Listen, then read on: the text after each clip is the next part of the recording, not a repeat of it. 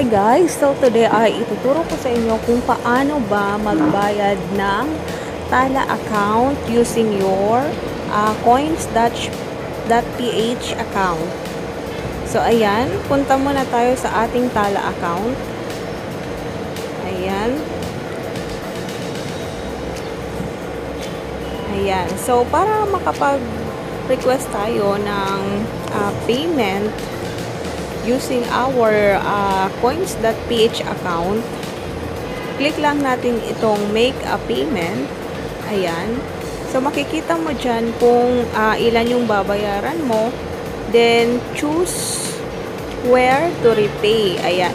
So, pwede kang mag-repay via 7-Eleven, Gcash, Paymaya, Cebuana, coins.ph, and M. Luelier. So, tayo, ang pinili natin ay coins.ph. So, kanina na uh, click ko na yung coins.ph uh, and may dumating na sa aking text messages. So, ayan.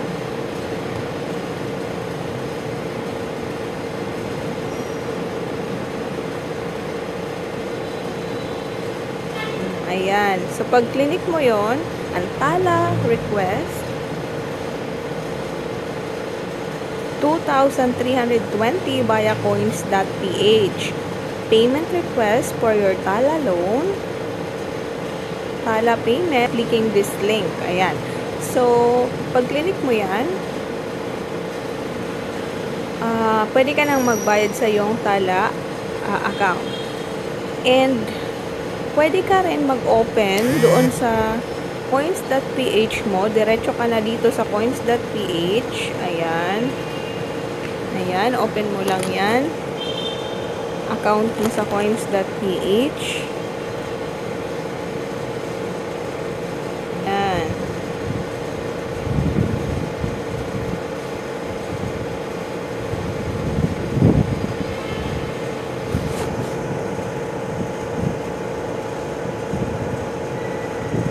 Ayan, click mo yung notification. Ayan. So, may nakalagay dyan, Tala Financing Philippines Inc. request for 2,320. So, ayan, dumating din yung request dito sa Tala, ay sa, uh, ano natin, coins.ph account. So, pag clinic mo yan, ganyan, yan, ganyan ang lalabas. Tala Financing Philippines Inc. request 2,320.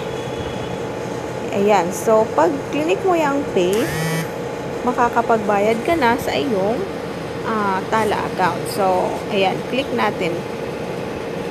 Pay. Ayan. So, Tala Financing Philippines Inc. request 2320.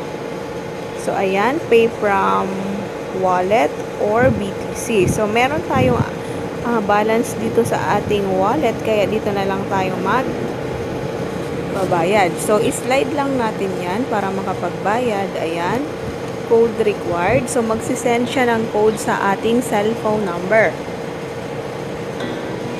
Ayun.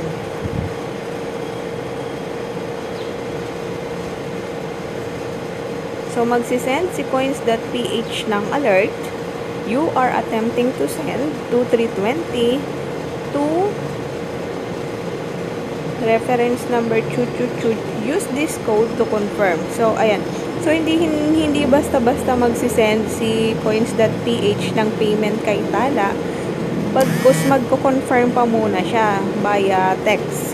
So, ilalagay mo lang yung confirmation, yung code, yung number na pinadala para ma-confirm ni coins na magbabayad ka talaga kay Tala. So, 248466. Ayan. 248466.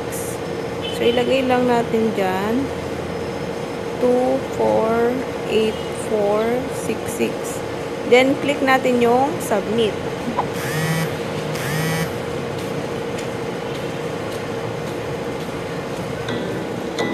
Ayan. So, ayan, nakapagbayad na tayo ng ating Tala account.